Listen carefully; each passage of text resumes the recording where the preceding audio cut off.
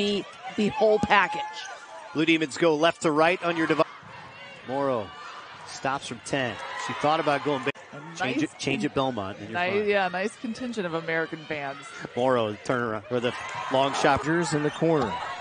They have not fed it to Morrow. They have had a couple of chances to take the lead, but they've yet to do so. Here's Morrow from 17. In range for Cleveland. The uh, preseason player of the year in the Horizon League looks like she'll be all right. She's going to come out. Title for the Terps. Peoples passing. Look at Morrow's as Rogers. Six field goals made, six assists. First, Deep breath and just slowing down for half a second. Morrow's not slowing down. Hit a three. Third three of the game. victories. That's 24th all time in women's college basketball basketball camps where he's mentored over 80,000 young athletes over the five to shoot. Morrow scoops around, no good. Rebound fought for. Morrow at the horn and gets it to go. Well, there's no other way that this first half could come to a conclusion. Anaya Peoples finds Rogers.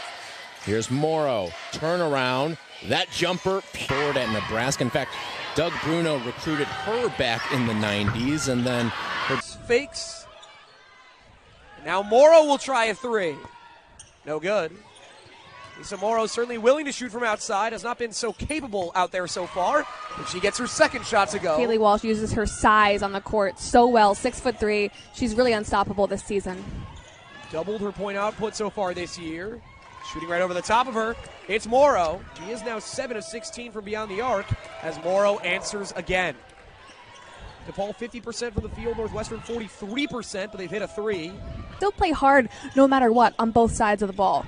We're seeing a lot of hard play right now as Morrow hits again. She still has not scored with a foot in the paint yet, Casey. That has gone 10 or 11 deep in most games this season. Aneesah Morrow finds space and scheme. There's always help behind you.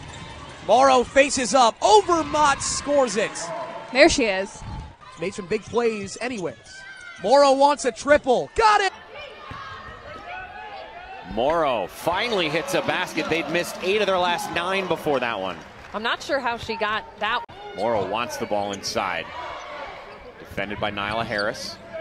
Stops, pops, drills it. Needs to be a little bit smarter in reading the defense.